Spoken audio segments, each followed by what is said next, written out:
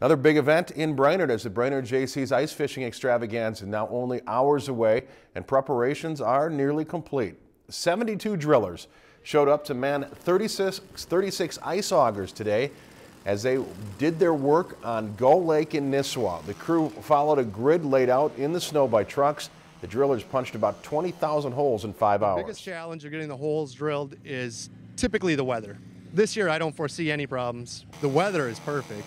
We were blessed by clouds saturated with condensation to give us a little bit of snow cover today, so we were able to get the grid down and drill straight lines. The weather, it's probably going to be 30 today. It's nice. Not much wind. It's easy.